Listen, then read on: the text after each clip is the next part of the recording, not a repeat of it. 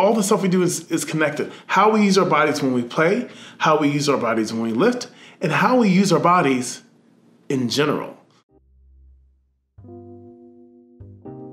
Hey everybody, it's Joseph Conyers, and welcome to my YouTube channel. If you haven't already, hit that subscribe button. I do all kinds of fun videos, mainly of me playing the bass, but today we're gonna talk about my fitness exploits.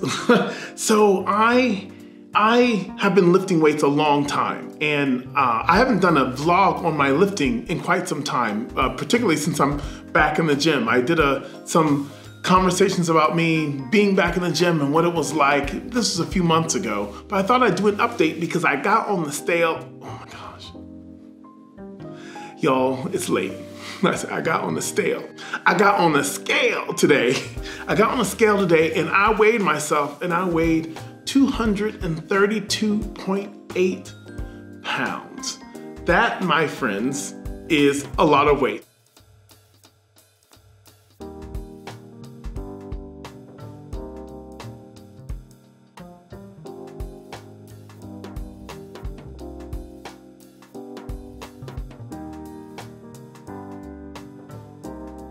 And in kilos, that is this amount, that amount right there.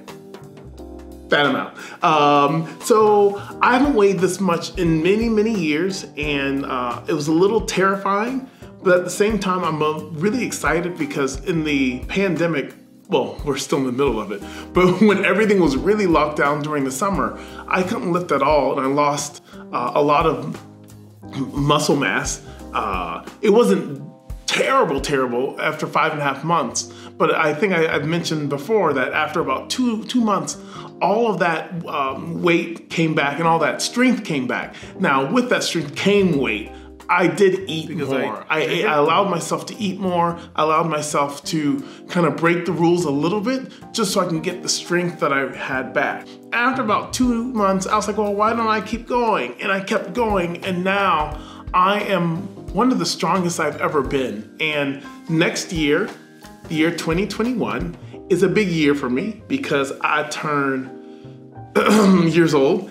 And uh, uh, I think in, in an effort to hold on to sips out of the fountain of youth, the going back to the gym and rejuvenating my love for lifting and bodybuilding has come back. It's come back actually full force. And I've given myself some time. I'm spending some more time in the gym. I just got a trainer to help me out so I can gain this weight in the right way, but then trim down as we get towards spring and I hit that big milestone birthday.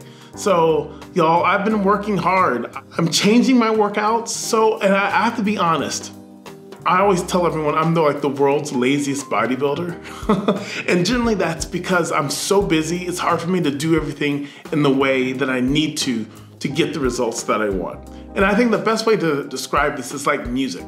In music, you can't just run and play a few scales or look at a few notes here and there and really fast and then run off to something else. Music is how I pay my bills. Lifting weights is not. So if there's something that gets left in the dust in the in a busy day, it is that lifting weights. And so sometimes I find myself going to the gym, just pushing out a workout as fast as I can and then having to rush out and go where I need to go. I am trying to be very intentional because I know what it takes to be a real bodybuilder. And one of the reasons, I mean, I haven't competed in a few years now, um, but one of the reasons I stopped competing is I knew I didn't have time that much time to like stare at myself in the mirror and practice posing. If you don't know anything about that world, folks get really into it. You know, like I'm, I'm, I'm pretty much into the bass, like a lot in classical music. Yeah, there are people just as passionate about lifting and looking in the mirror and this muscle and this. I, I just don't have the brain energy to put into that. But I do love the pursuit. I'm excited to be able to kind of revisit that and try to focus and use this time to, to focus instead of just running and, and running into the gym and and throwing weights around, heavy weights around and then running out, but being a way more diligent about how I lift.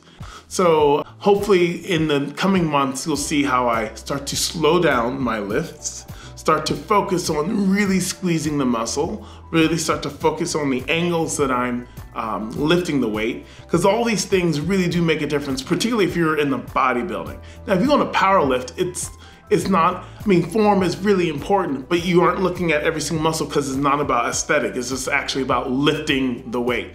Bodybuilding is about how many muscles can you see and the muscle head and all like, and that's what I, I mean, that's what I've been involved with. So I'm looking forward to the next few months. I'm excited to see, I mean, I think I might surpass my heaviest weight ever. Uh, I hope my clothes still fit. Luckily, I don't have to go out in the public very often um, uh, at all, uh, thanks to this pandemic.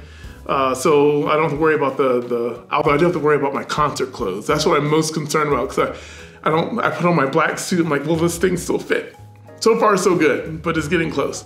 Um, uh, but yeah, I'm, I'm, I'm, looking forward to, to getting in shape and um, telling you a little bit about the journey. So you can feel free to ask questions. because I know sometimes there are lots of um, there are lots of questions about my lifts, and I hope to be more descriptive about that going into the new year.